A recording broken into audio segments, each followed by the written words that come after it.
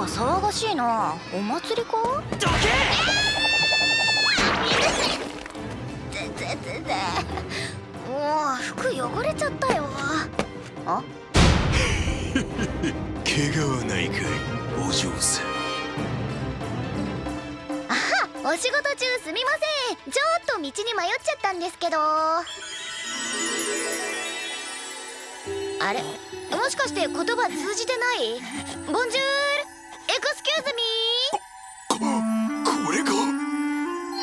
れが恋ーえ？あれ？もしかしてこれやばい状況？お兄さんって木こりじゃ？あ？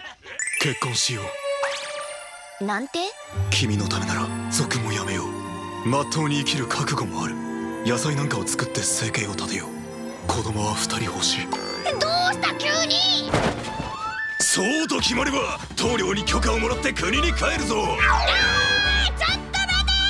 おい何遊んでんだ？兄じゃ見てくれ。妻が見つかったんだ。妻？何言ってんだお前。結婚しよう。なんで？君のためなら族もやめよう。まっとうに生きる覚悟もある。壺を作って生計を立てよう。子供は8人欲しい。何人産ませる気だこいつ！これつまりそういうことかそういうことなのか？そこまでなのか？俺の美貌は。兄者とはいえ人の妻を横取りとは許せん。いいや彼女は俺と暮らす決闘だ。結婚しよう。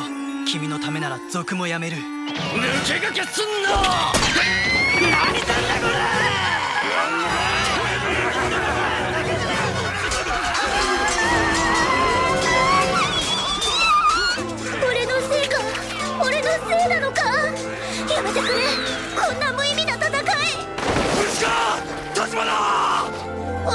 めに。